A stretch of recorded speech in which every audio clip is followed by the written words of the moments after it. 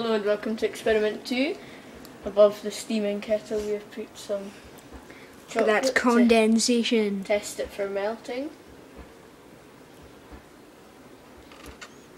And so far, nothing's happened. However, Would you like a piece of chocolate to eat? please.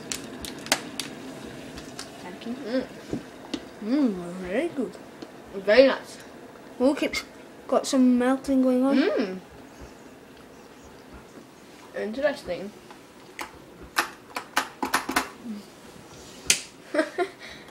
How is that gonna work? Put new water in it and then it will just boil all over you. Once it melts in the bowl, how are we going to clear it out of the bowl? Or not. Just gonna mix it and stuff. Oh yeah.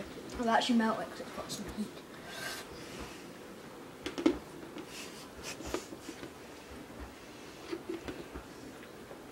Beginning to get signs of melting.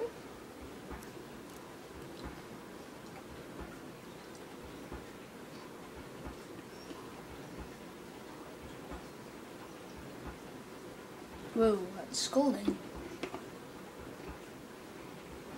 I do not see how this is not melting. I'll give it a poke.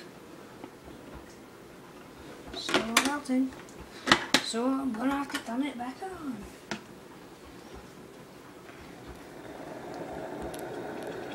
Woohoo! The aim of the experiment is to test the chocolate for starch. So, if you get a stand, Then we have to get a shot underneath. Aim is to test for melt. Method we're not going to bother with today. And result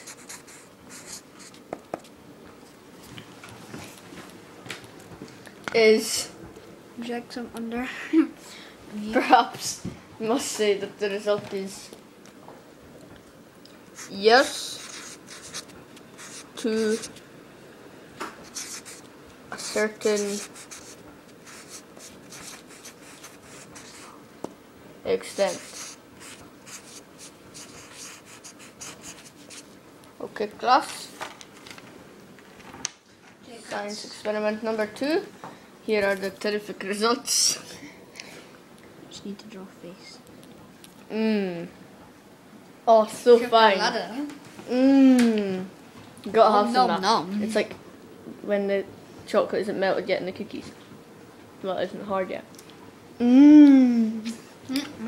Yum yum. Thank you for watching experiment 2 and the aim was to test the chocolate for the melt and the result is yes to a certain extent. Come back for experiment 3.